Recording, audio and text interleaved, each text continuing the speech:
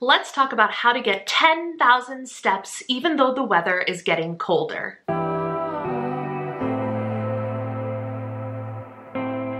Someone who works hard to get 10,000 steps as many days as possible. So I have a few tried and true tips to help me reach that goal even when walking outside is out of the question because the weather has cooled down. My first tip for getting your 10,000 steps in when the weather is colder is to house walk. House walking simply means walking around your house. I can often be found pacing back and forth from my office to my husband's office because it's a pretty straight, clear path, and it allows me to take one to two minute breaks just to get a little bit of movement in, pacing back and forth. It's a couple steps. It's not going to get me a tremendous amount of steps, but it's going to give me the opportunity for a movement break when I need to take even just 60 seconds to get up and get moving and get a couple of steps in the process. Whether you have a bigger house where you can actually cover a little bit of distance, or you have more limited space where you end up kind of pacing back and forth, or running to different parts of your house, don't underestimate the power of simply house walking.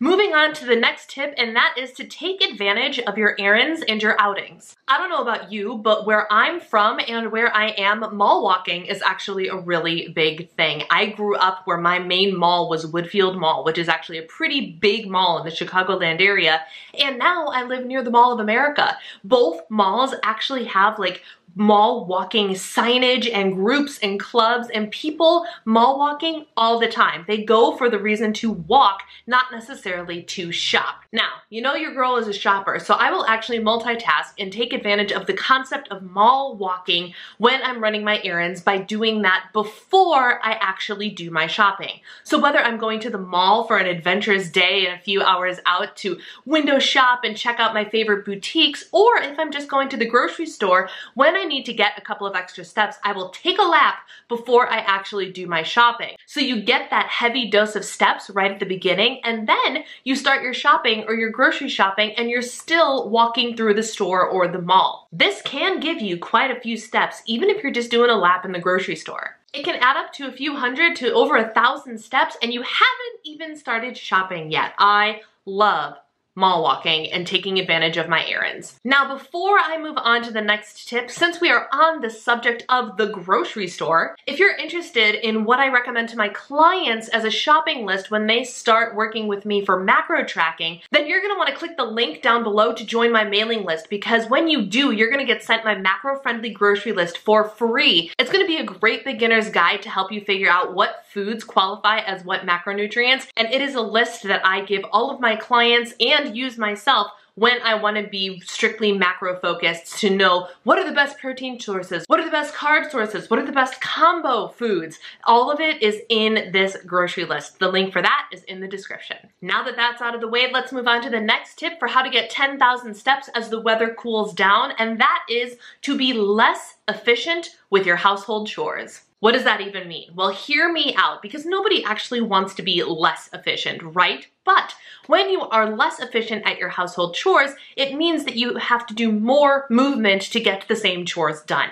A couple of examples are when you go to empty the dryer, we put all of our laundry in a basket and carry it to its destination, right? Well, what about if instead you only grabbed what you could carry and walked that over to its destination, and instead you were required to make two or three trips instead of one?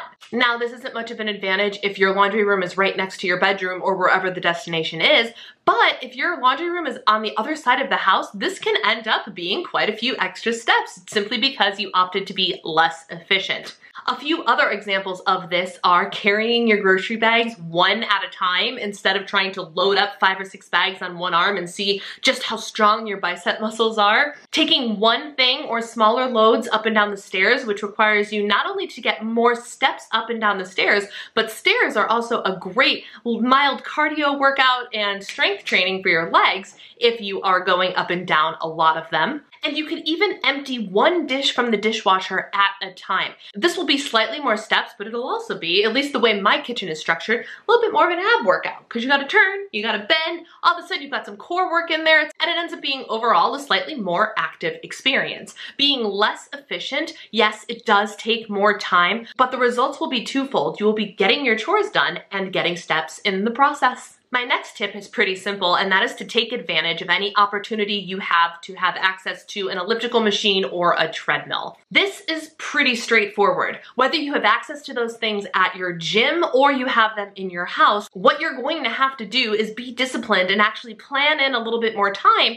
to earn those steps on those machines. No, it's not always what we want to be doing, but when we are walkers who go outside and we no longer have that as an option or we no longer want to be doing it because it's simply too cold, we have to take it upon ourselves to be disciplined enough to get those steps elsewhere. And hopping on the treadmill or getting on the elliptical is the really easy answer. So when you go to work out and you do your weight training or whatever it is you do, go ahead and buffer in an extra 20 to 30 minutes to just hop on a treadmill or elliptical and walk. You don't even have to run or anything. You can just go at a nice leisurely pace and your steps will count. You will get those extra steps just by doing those things. If you don't have access to either of those things, we are living in the day and age of the walking pad.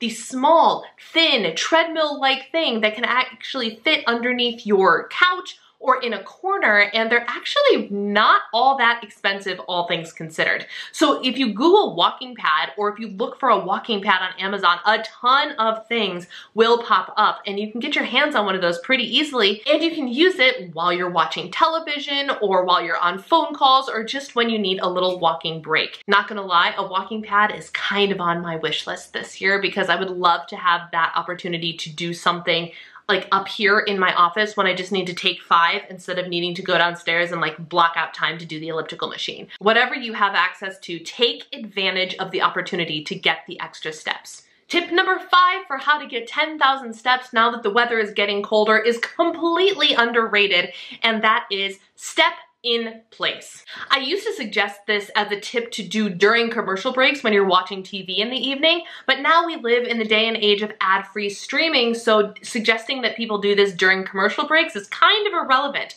So once again with the discipline, you need to make the choice to get up and do this, but it's literally just standing up and walking in place, step and move your arms and lo and behold, the step count is gonna go up. Now, you do have to move your arms in order for it to genuinely count to your body. Yes, could we swing our arms around and have it count on our trackers? Absolutely, the tracker doesn't know, but our body will. So don't cheat yourself by trying to cheat the system and just moving your arms. But get up while you're watching TV, even five minutes at a time, and just step in place. Will you feel silly? Yeah. Will you be glad you did it? Also, yeah. I hope this helps you feel prepared for the cooler weather so you can go out or stay in and still reach your 10,000 step goal even though it's cold outside. Leave a comment down below telling me which tip was your favorite or if you have a different tip that I might have missed. Let me know. If you like this video, please give it a thumbs up. And if you haven't joined the Diva and the Divine community, we'd love to have you. Just click that little red subscribe button. Thank you guys for watching. Take care. I'll see you next time. Bye.